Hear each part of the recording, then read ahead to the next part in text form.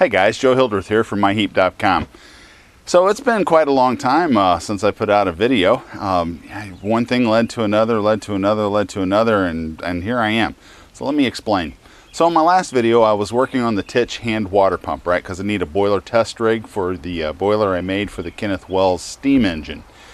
And um, I decided that I would just actually follow the, the, the plan directions and uh, order some model engineering taps. And I ordered those from England and I was waiting on those, right? And then, you know, the whole virus thing started.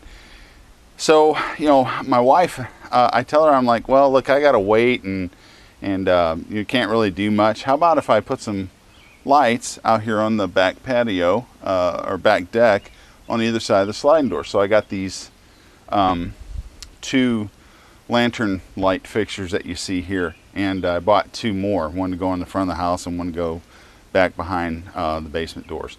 But anyway um, my dining room uh, was paneled. My dining room and kitchen was paneled and uh, so my wife said uh, hey you think we could drywall at least the dining room? And I'm like yeah I guess but you know we'll have to tear up the carpet.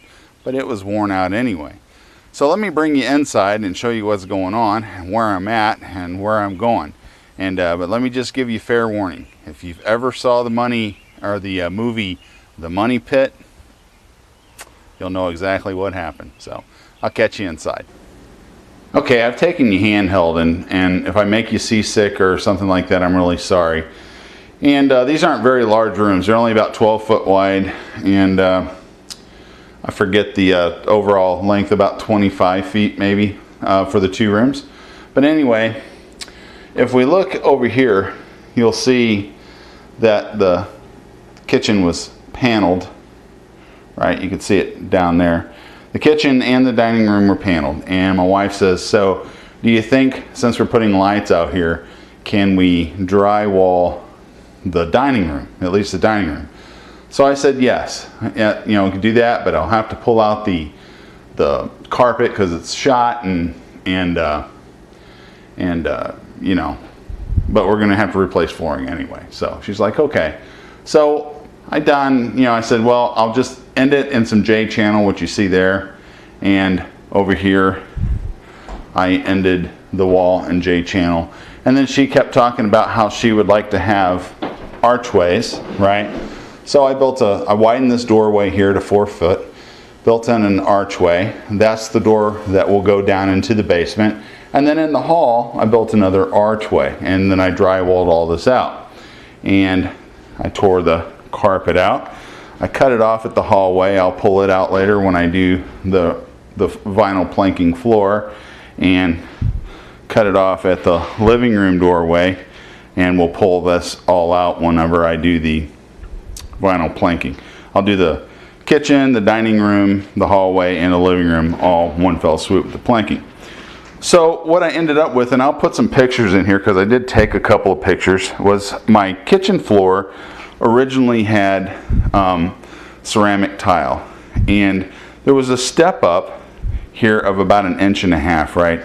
And my mother-in-law lives with me and she's 81 years old and she doesn't move around real great and I was worried that she was going to trip on that stuff and fall, and if she would have fell, her, her frame fell on that uh, uh, ceramic tile, um, she would have broke, right? So I thought, well, the tile looks like it only runs up to the toe kick of the cabinet. Somebody laid it as an afterthought, so I thought I could tear it up. So um, as I'm tearing it up, the tile did in fact go up to the toe kicks, but the underlayment, which is looks like three quarter inch uh, particle board, it actually ran underneath the cabinet. So I thought, well, crap, I'll have to pull the cabinets out in order to uh, tear out the rest of the underlayment. Except that the cabinets in this kitchen are, they're built-ins, right? They're not like modular cabinets you'd buy at Lowe's or anywhere like that. They're actually all built in, and when they come out, they're probably gonna come out in pieces. So I told my wife, I said, well, you know, uh, in for a, penny, in for a pound, you know, so uh, today uh, we bought cabinets. Uh, fortunately, we got a 30% off um, coupon, but it was still, you know, $10,000, and that's not even counting the countertop. So I just wanted to give you an update where I'm at. Um, I'm probably going to pull this uh, drywall here back off um, so I don't have to deal with the J channel. This over here I will cut back and uh, and then I will pull all these cabinets out, the appliances out. I will tear out this little closet that was used for a, a cupboard and drywall the entire kitchen. I will center the stove uh, on this rear wall. You see it needs to move to the right uh, a little ways. And then the sink and the dishwasher will stay where it was. The refrigerator used to be here. I will put a big pantry cabinet right there and then across over here on this side I'll, uh, I'll run water uh, for the refrigerator and, and, line and then of course I'll have to run some I'll have to run some electricity uh, so I've already purchased all my inset lighting I don't know if you can see there's one above the sink I'm to put five here uh, on the uh, kitchen ceiling and that sort of stuff. So I got quite a bit to do here. Uh, I'll uh, give you an update video um, here and there just so you see what's going on for those that are, might be interested. I got to get this job done. Uh, like I said, I ordered the cabinets today um, and I have, they tell me three to, three to eight weeks for shipping time. They say it's typically four, so I got about four weeks to get all of them done. I need to get done. I got lots and lots of squeak in the subfloor. The subfloor is 5 eighths. It's a little thin for my liking, so I'm probably going to bring in some uh, and uh, lay down some 7 16 uh, OS, OSB on top of this here, stagger the seams and screw it all down, but not before I um, not before I screw down all the squeaks. One thing I will note, uh, note, you see these areas here on the floor that looks like they've been ground. That's because they have been ground. Whoever put the uh, particle board in, they glued it all the way on the perimeter and nailed it all down and then about every six inches the uh, concrete board or you know the backer board for the tile was screwed into that and so all this stuff is coming up or is coming up in very small pieces except for here you'll see that there's some staining on the floor so I guess at one time there was a, a good a pretty good leak or something now the floor is sound but it is stained um, but now the um, particle board um, in that area is you know coming up pretty good. My appliances are fairly new.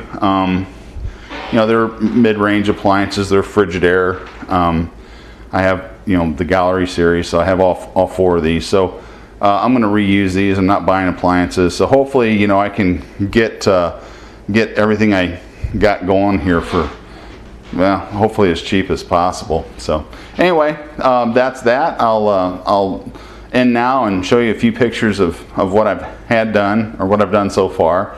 And uh, we'll call this an update. And then uh, it won't be too much longer. I'll give you a shop update because uh, I want to talk about Travers Tools. I think it's Travers Tools, Travis Tools. I can't remember uh, off top of my head. And and some stuff that I got from Chirpy and some some other things. So I want I do want to give a shop update, and that's going to come real soon. So thanks guys for hanging out with me and being so patient. Uh, man, I tell you what this is horrible. This is just horrible. So anyway, um, hey, look, if, uh, if you find any of this stuff entertaining, please consider liking, subscribing, or sharing. Click the bell if you want to be notified. And other than that, have a blessed day.